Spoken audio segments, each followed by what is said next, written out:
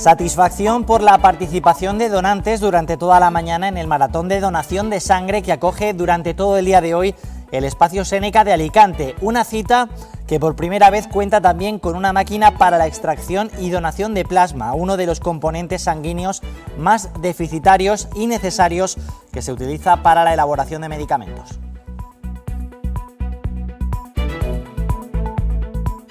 Buenas tardes. Solidaria respuesta de los alicantinos durante toda la mañana. Normalmente en este tipo de citas se suelen recaudar en torno a 2.000 donaciones y este día de hoy se van a recaudar seguramente con creces un número más amplio. Vamos a arrancar como siempre conociendo las noticias más importantes del día y vemos cómo ha sido la mañana en la maratón de donación de sangre de Alicante.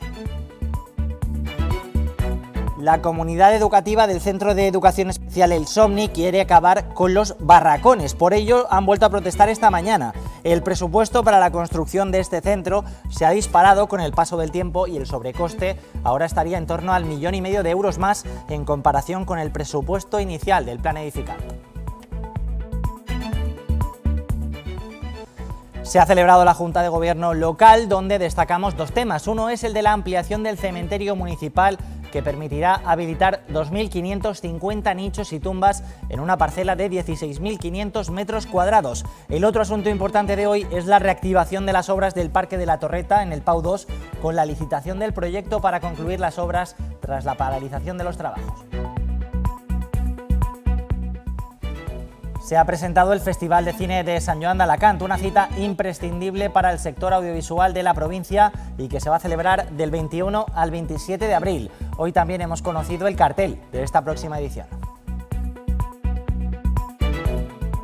Y hoy ha arrancado la Feria de Formación y Empleo en el Campello, donde hasta 27 instituciones académicas y laborales de la provincia de Alicante y de Murcia se han instalado para que presenten sus ofertas de cursos, carreras y salidas profesionales. Muchísimos jóvenes se han acercado durante esta primera mañana para intentar aclarar su futuro y conocer las alternativas de que, que tienen a la hora de elegir una carrera y saber a qué se quieren dedicar. Conocemos también un adelanto de lo que nos trae el deporte. Aitor Baró, buenas tardes, cuéntanos. Buenas tardes Andrés, nos trae un casi, porque Honor Neo Alicante se quedó con la miel en los labios, apenas a dos penaltis de dar la machada y eliminar a un equipo de Liga Sobal en la Copa del Rey, como fue Cangas. Después, en el tiempo de deportes, contamos cómo fue el partido y cómo lo vio el técnico Fernando Latorre.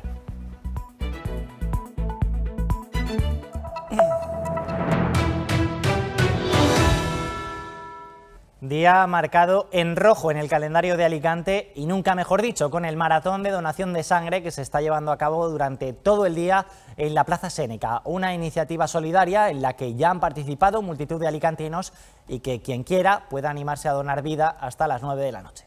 Bajo el lema Alicante Dona Vida, el espacio Seneca ha acogido un maratón de donación de sangre para conseguir el mayor número de dosis posible. Y de momento están respondiendo muy bien. Es un espacio, a mí me encanta, estoy muy ilusionada con este, este maratón porque creo que es una fiesta de solidaridad y que es un espacio precioso para demostrar la generosidad de los alicantinos. Organizado por el Ayuntamiento de Alicante y el Centro de Transfusión de la Comunidad Valenciana, esta acción apela a la solidaridad de los ciudadanos. Una, que es incluso bueno para ti, para, para tu salud, el, donar sangre.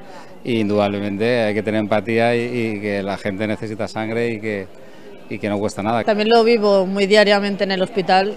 Mm, salvar una vida es imprescindible. Yo creo que se merecen una oportunidad más, ¿no? Según los datos del Centro de Transfusión de la Comunidad Valenciana, se necesitan 250 dosis de sangre cada día para cubrir la demanda de los hospitales de la provincia. Toda la sangre va a parar a los pacientes que la necesitan. Son los pacientes que están en los hospitales, que son vecinos, amigos, familiares de todos nosotros, que a veces no nos damos cuenta hasta que, no, hasta que ellos no la necesitan, que esa sangre está ahí. Y se necesita no solo para accidentes de tráfico, sino para muchos pacientes, sobre todo pacientes oncológicos, que consumen sangre diariamente, para mm, niños, para parturientas, para mm, intervenciones quirúrgicas. La sangre no se fabrica, por lo que es fundamental la donación altruista para cubrir estas necesidades. Un maratón que en esta edición ha llegado con novedades. Por primera vez se ha contado también con una máquina para extraer plasma. Isabel Montaño, cuéntanos más sobre esta máquina. Sí, Andrés, buenas tardes. Como novedad en este maratón se ha incluido la máquina de extracción y donación de plasma, uno de los componentes sanguíneos más deficitarios, pero a la vez necesarios, ya que se utilizan para la elaboración de medicamentos. Con nosotros está el médico de la unidad móvil, Carlos Clavijo. Buenas tardes. Hola, buenas tardes. Es la primera vez que se incluye en un maratón este tipo de máquina de extracción y donación de plasma. Sí, sí, sí, es una experiencia que queremos comprobar qué tal la respuesta de los alicantinos, de, las alicantinas, y la verdad que está siendo muy buena. La gente pregunta en qué consiste, se informan, y bueno, hemos captado ya muchos donantes que para la próxima vez van a donar plasma. ¿Y en qué consiste esta máquina? Porque muchas personas se preguntarán qué es lo que hago yo, cómo ayudo yo donando. A ver, eh, donando sangre nos ayuda mucho, pero también hay otra modalidad que es donar plasma, es decir, un poco más allá consiste en que hay un proceso automatizado, una máquina que extrae la sangre, separa los componentes y mediante varios ciclos de extracción y retorno recoge el líquido que es donde van disueltas las células, que es el plasma, y el resto de células las devuelve al donante por la misma punción. Es decir, que la misma aguja de punción unas veces extrae y otras veces retorna. Viene a durar aproximadamente unos 40 minutos prácticamente.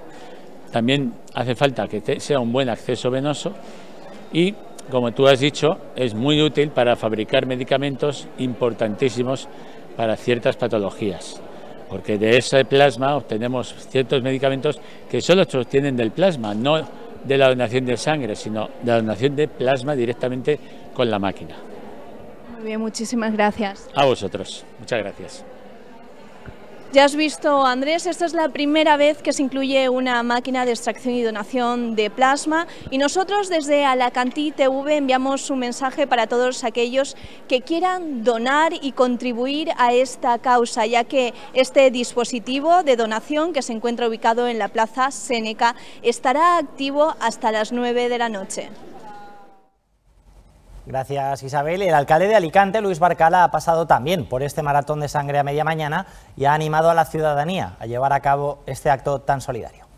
Más de 250 bolsas se consumen eh, diariamente en, toda la provincia. Eso es muchas donaciones todos los días. Por eso, la concienciarnos con campañas y con maratones como el de hoy, que en definitiva es intentar ganar nuevos donantes, que los donantes no dejemos de hacerlo y concienciar que cada vez que hacemos una donación estamos regalándole la vida a tres personas. ¿no? Creo que eso, si lo piensas con esas cifras, te das cuenta de lo poco que te cuesta y lo mucho que significa. ¿no? Así que estamos a tiempo, el día hoy es muy, muy largo. Tenemos que venir aquí a, a la Plaza Séneca, al centro Séneca, a hacer esa donación a, hacer esa muestra de no solo de solidaridad, sino de, de, amor y responsabilidad hacia los demás, porque en cualquier momento puede hacernos falta la sangre que otro haya donado. No seamos en eso rácanos, mm, donemos, regalemos vida y vengamos hoy a Seneca.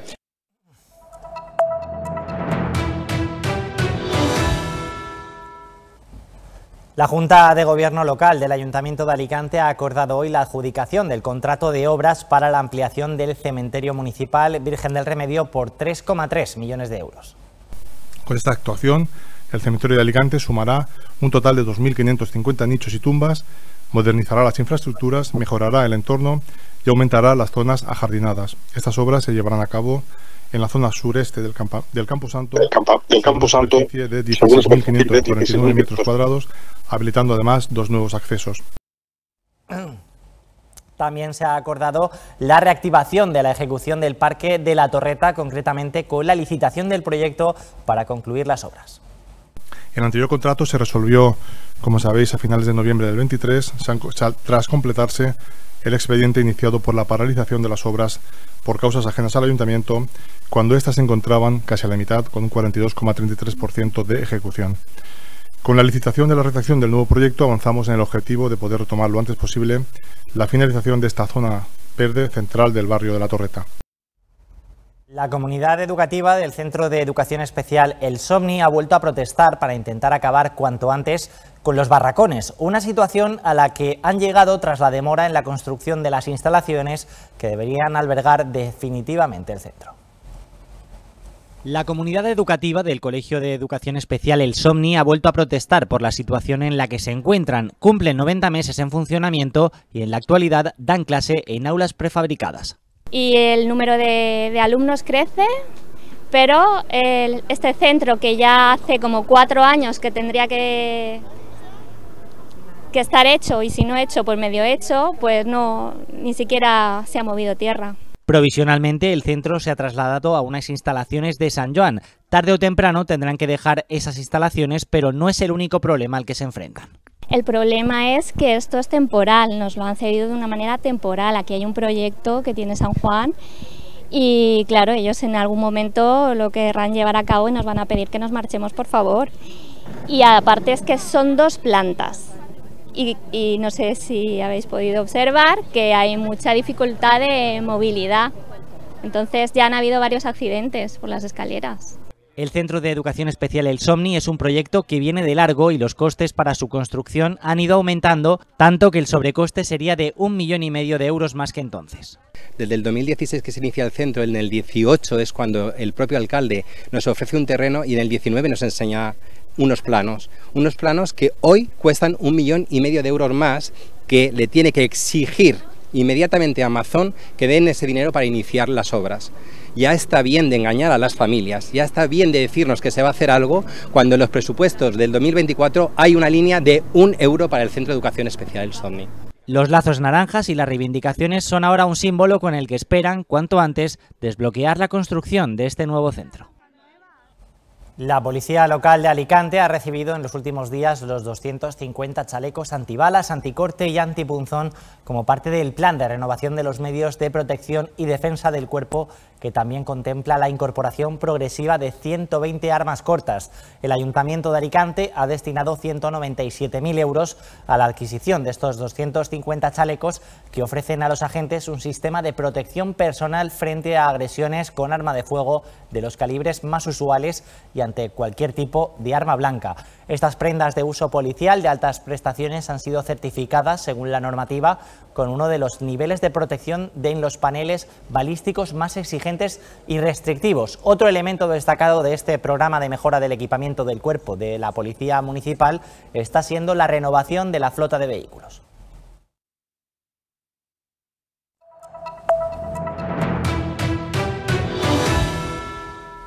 Falta justo un mes para que Juan de Alacant celebre su Festival de Cine. Será entre el 21 y el 27 de abril. Esta mañana se ha celebrado una presentación del certamen en el auditorio de la Casa de Cultura, donde se han dado a conocer todas las novedades que presenta esta nueva edición. Apenas queda un mes para la vigésimo cuarta edición del Festival de Cine de San Juan de Alacant 2024. Los próximos días, del 21 al 27 de abril, el municipio hará honor al séptimo arte y hoy hemos podido ver el cartel.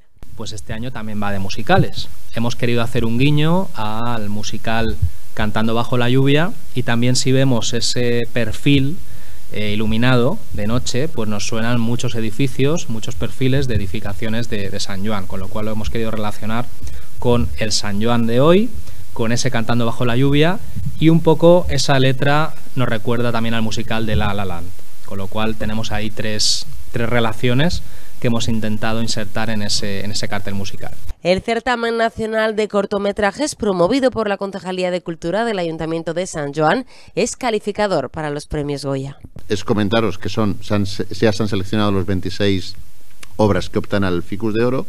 ¿eh? De, temáticas muy muy diversas y de contenidos que son tanto de tanto dramas como comedias como animación eh, como documental puro puro y duro y a ellos se añade que por destacarlo de manera especial, los cinco cortos que se han, que se han elegido, que optarán al premio Alficus Palomitas, una de las secciones nuevas, de eh, con vinculación local. Esa vinculación local puede ser, lo han comentado, tanto por sus creadores, como por el entorno, como por la, la, la, historia que nos pueden hacer llegar. ¿no? Eh, mm, Entre las novedades del festival está la creación de dos nuevas categorías y galardones, como son una sección familiar de cortos, así como un premio al mejor cortometraje local. Y de San Juan nos vamos hasta El Campello, donde hoy ha arrancado una nueva edición de la Feria de Orientación Laboral y también en materia de formación para los más jóvenes. Laura Núñez está allí, en El Campello. Laura, cuéntanos. Desde la Concejalía de Educación del Ayuntamiento del Campello son muy conscientes de la importancia que tiene dotar de herramientas a los jóvenes para poder elegir su futuro. Por ello, un año más vuelve la Feria de Orientación Laboral del Campello, un espacio, como podéis ver, donde los jóvenes se pueden acercar y pueden ver de primera mano las ofertas que la población y la comarca les ofrece tanto en laborales como en materia de educación. Para los jóvenes, el momento de elegir una carrera profesional es una etapa de mucha incertidumbre. Seleccionar una vocación puede ser mucho más que decidir qué vas a estudiar.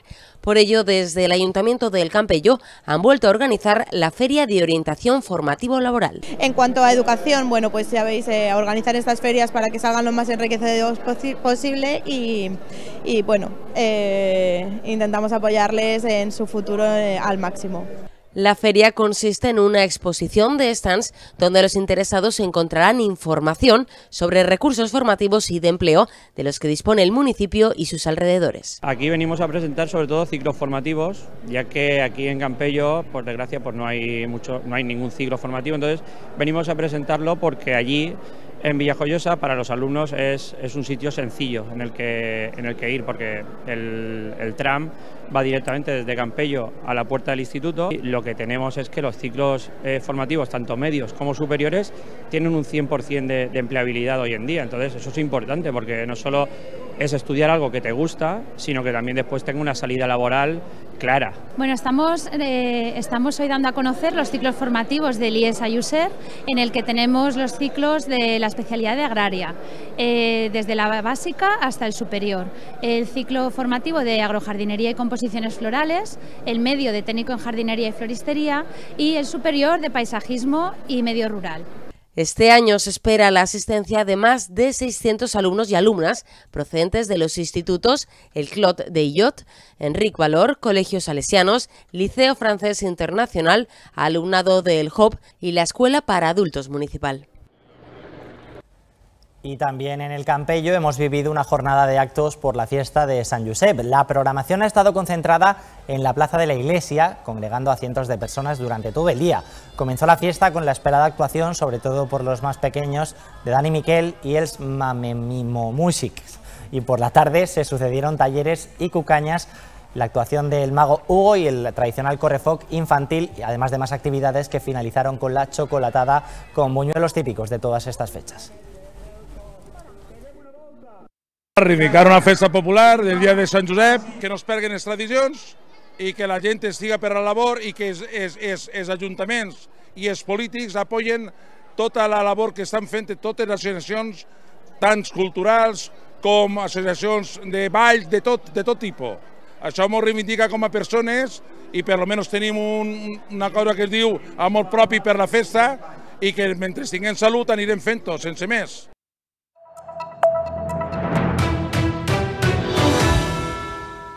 Vamos ya con la actualidad deportiva. y Baró, buenas de nuevo. Una pena, el fin de León. A dos penaltis, Andrés, a dos penaltis. Eh, la Copa tiene estas cosas y Eon Horneo Alicante estuvo muy cerca de dar la sorpresa frente a Cangas. Eh, tuvo opciones incluso de haber ganado el partido antes eh, de llegar a esa tanda de los penaltis, pero dos errores en los dos primeros lanzamientos desde 7 metros condenaron al conjunto de Fernando Latorre, que vio cómo se le escapaba una oportunidad única de tumbar a un equipo de Asobal y tener una nueva ronda de Copa. El eh, técnico lo veía así al finalizar el partido. Sí, bueno, ya hemos visto el equipo eh, una grandísima segunda parte, que bueno, eh, no hemos sabido rematar eh, en el momento clave, hemos tenido ahí dos acciones para, para meter gol en América, no lo hemos gestionado bien y nos ha llevado a la prórroga, ¿no? Bueno, luego en la prórroga, bueno, desde un toma y daca, hemos conseguido ahí in extremis empatar y bueno, los penaltis pues pues eh, no hemos tenido la fortuna, ¿no? Entonces, bueno, pero contento por, por la entrega, contento por, por, yo creo que por el espectáculo que dado los jugadores y yo creo que los aficionados hoy se pueden ir eh, orgullosos de su equipo a pesar de, de no haber podido pasar la eliminatoria. ¿no? Y hoy el que tiene la oportunidad de pasar esta ronda de Copa es Balonmano Agustinos. Tiene un rival de su misma categoría, se mide a uno de los equipos candidatos al ascenso como es Guadalajara, pero lo hace en la catedral uh, con el premio, si consigue la victoria, de toparse con un auténtico equipazo en la siguiente ronda. A partir de las 7 de la tarde, el conjunto alicantino tratará de apurar sus opciones en esta Copa.